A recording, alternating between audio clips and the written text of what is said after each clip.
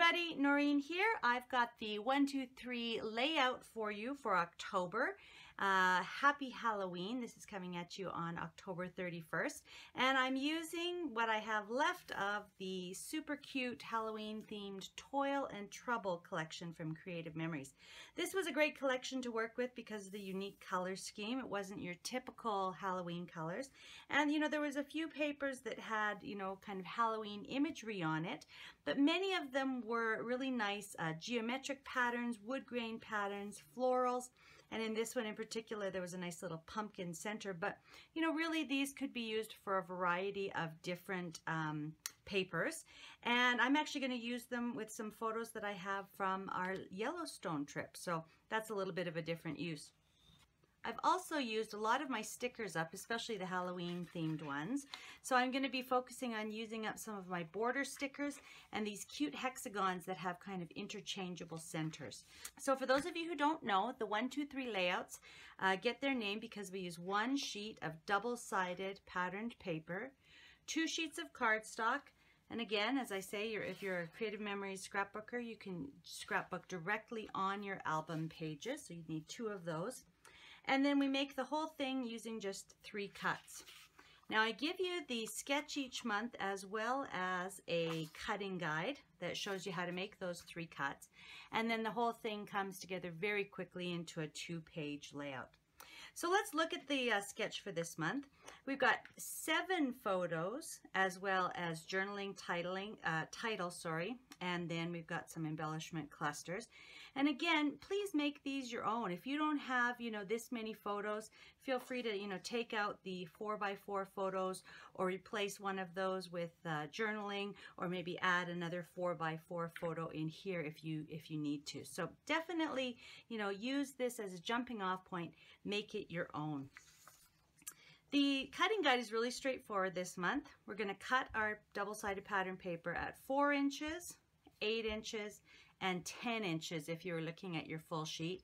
So we'll cut it 4, move it aside, cut again at 4. That gives us two 4 by 12 inch uh, strips. And then the remaining 4 uh, by 12 inch strip we're going to cut in half at 2 inches to give us two 12, uh, sorry, 2 by 12 sheets, okay, or strips. That makes sense? I get ahead of myself when I'm talking. So let's go ahead and uh, do the cutting. Here's the paperback.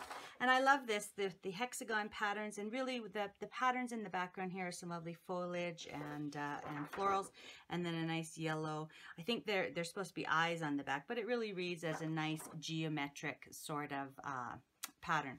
Now, because I'm going to be having my two of the strips. I think I'm going to use my yellow strips going sideways here. Um, I do need to decide whether I want to cut it across so that my little pattern goes up and down or whether I want to cut it across this way so that my pattern goes lengthwise. And I think for my purposes, I, I always like it kind of going up and down. So I'm going to cut my paper this way, all right? So our first cut is at four, Our second cut would be at 8 on a full-size sheet, so that's another 4. Those two will set aside. And then our last cut is at 10 inches on a full-size sheet, so that's 2 inches on our remainders. Okay? And that's all we need to do.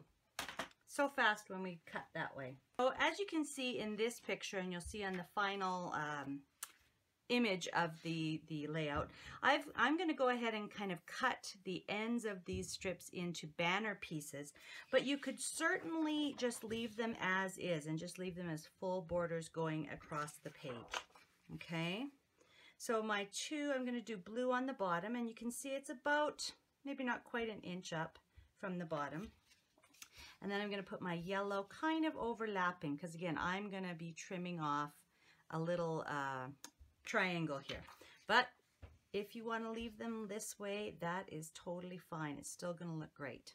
Okay, so let me just show you how to do a quick trim.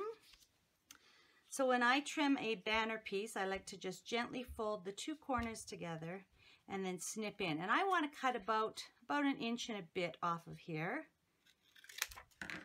So I'm going to make, oops, I'm going to make my banners about that big. Okay? And I'm going to do that on all sides. If you choose to cut the, the pieces, the strips into banners, make sure you hang on to these because we're going to use these as little tags up at the top there, okay? But let me show you how I'm going to lay my photos out. As I mentioned, these photos are uh, from when my family and I visited Yellowstone. And it just so happens that my sons were wearing some blue and yellow t-shirts, which are perfect with these uh, with these colors. Here's uh, Old Faithful itself, and then we were looking at all of the different geysers and uh, amazing sights around the area. So my photos are going to fit in just about like that. Okay, I'm going to add a little bit of embellishments down here after I trim that piece. And again, these pieces are also going to be trimmed. I've got room for my title here, and then because I'm working on a solid background, I'm going to put my journaling right in there. So again, you can see how fast the layouts come together, which is what I love about the one, two, three layouts. And uh, that's the feedback that I get from you guys as well. You love how fast they are, that there's no waste, and that you get, you know, a lot of mileage out of just one sheet of paper. Okay?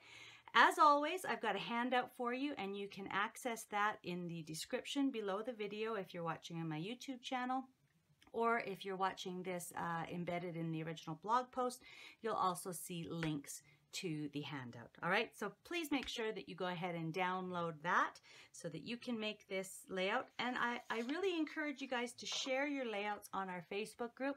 We've got such a supportive community there. We'd love to see what you do with these um, designs and we'd love to see your finished products. All right.